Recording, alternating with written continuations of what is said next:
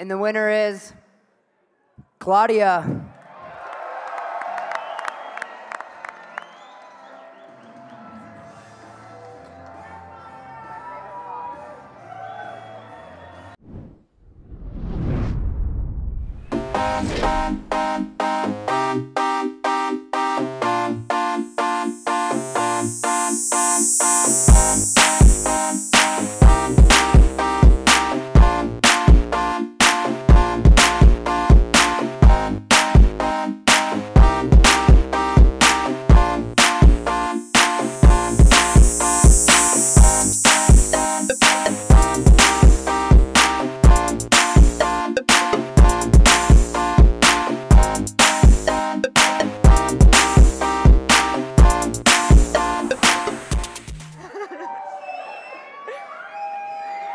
Thank you, TransWorld Snowboarding, for nominating me for, uh, for Rookie of the Year.